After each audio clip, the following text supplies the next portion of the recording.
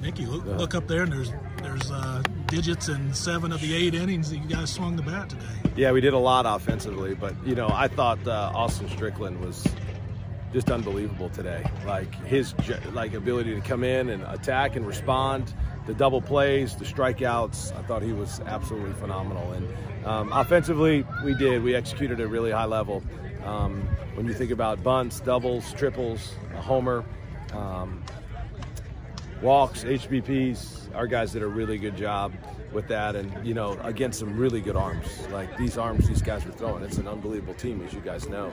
So i was uh, proud of our guys. I thought jackson gray was um, phenomenal. Jace um, you know gilly got another rbi Pitre was awesome. Waldy ruben devin what, a, what an at bat in the second what an at bat in the second you know got him for 48 pitches in that one inning and i thought devin's at bat was one of the keys james his home run with two outs i thought grant obviously a couple more RBIs, put balls in play, and you know up and down the lineup, we got a lot of production from everybody in that lineup. For nine last year, you had you had Tennessee in. It's number one. Now you got number three, South Carolina in. What's it like this time of year? I mean, you're, you're taking down these top teams in the country. You know, the, our league is is the margin of victory is so small.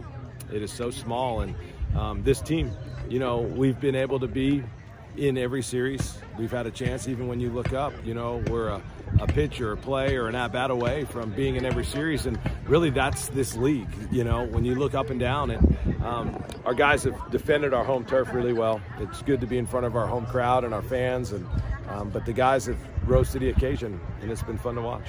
Coach, you talk about the productions. Let's talk about those middle innings seven runs all together there in the middle innings. Yeah, you know, every time you get a chance to push a run across, you got to do it. And um, we did it in a lot of different ways. That was the thing I was most proud of. Whether it be a hit and run, a stolen base, there was just a lot of different ways we were able to score and push runs across. And you guys know this. You can never underestimate the importance of a run, you know. And anytime we got a chance to just push one more across, the guys got it done. Scored nine runs with two outs today. Just what, does the approach change with two outs, or is it something different that you guys are doing? You know, I, I don't know. I know the the Jace. I thought the triple was huge. You know, when um, Jackson they walked Jackson and then Jay stepped up and got that, and I thought James McCoy with two strikes ended up hitting a, a home run there, and then you know Grant got in the middle of the field and we had some others. So um, you know their ability to just fight and compete and uh, put balls in play with two strikes was huge, huge. Coach, what would you say about all these fans? I mean, it's Derby weekend. They're here rooting you guys on, cheering you on. What do you say? you know, they it lifts the guys. It, their heightened awareness and their focus. You know, um, they make a difference. And uh, so there is no Derby tomorrow, right? They got any horse, horse? Okay, so like hopefully we get a bunch of people out here tomorrow to come support them because every person counts. When you look at these seats, every person counts, and uh, we have great fans, and they showed it, and I want, to show up again tomorrow.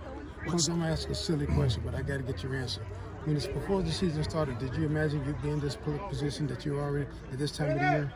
Well, the thing I, I knew about our guys is they were really competitive and they have a desire to win that dominates. And Mr. Barnhart challenged every team in his department, including ours, to do everything they can for Kentucky. And uh, that's what this group has done. They've done everything they can. You see it in their selfless at bats. You got a guy like Austin Strickland, who's an amazing pitcher, could start, but we put him in the game late. He takes us all the way home through actually more than our starter. We just have a bunch of selfless guys. We had a guy today attempt a bunt on his own. Didn't even have a bunt. We had a green hit and he attempted a bunt. Like it's a very selfless, selfless team. And um, yeah, I can see it. How much more work do you think you guys have, or do you feel satisfied with where you are right now? Well, you know, you know this, but every win matters. You know, whether it's the first SEC game or the 30th one. So there's still some work to do.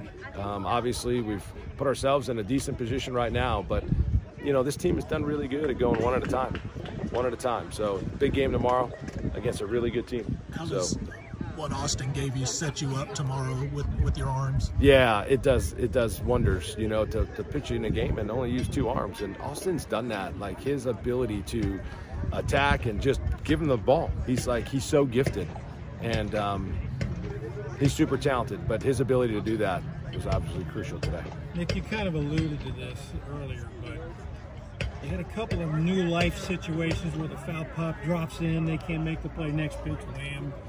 Check swing, no strike for Grant, next pitch. I mean, Is that kind of characteristic of this team? Yeah, you know, anytime you, you get an opportunity to take advantage of something, you know, you got to do it. And um, that happened today.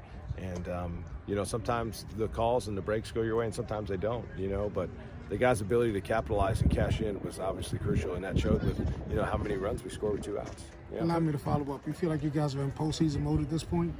We're trying to just win tomorrow. You know, that's the thing I care about this team. Is like literally try to just win tomorrow and see where that goes. And at the end of the day, we'll look up and see where we're at. But uh, we've put ourselves in a good position thus far, but still a lot of work to be done, a lot of games. I mean, we've still got seven league games to go. And um, you guys know this, but a lot can change in one weekend, you know, let alone one day. Yeah. Coach, last question for me. SEC top to bottom. Talk about SEC baseball. What that means to just the whole league and how good this league is. Yeah, you know, it's we're the greatest league in America for a reason, and I, have been in it 17 years, and um, I can tell you from the time I got in till now, it just keeps getting better, and the margin of victory keeps getting smaller and smaller, and um, it just goes to show you, you know, even if you look at last weekend and the weekend before, the amount of sweeps, but how close those games are. You look up every weekend and every game. There's one and two run games, and you know what? As Dick just mentioned, it's a it's an at bat here, it's a play here, it's a break here, and you know you're looking at something totally different. But this league's the greatest league in America. It goes to show for all the national championships and wins. And I mean, I keep saying, if you go back to last year, Ole Miss is the last team in our league in. They're in ninth place. Some say they're one of the last teams in the tournament and they win the national championship. Like what other what other sport, what other league? I mean, they're all really good, but the ninth place team wins the whole thing, wins the national championship, the ninth place team, and that's what our our our league is able to do, and it's really deep, and um, it's the best in America for a reason. Thank you. Thank you.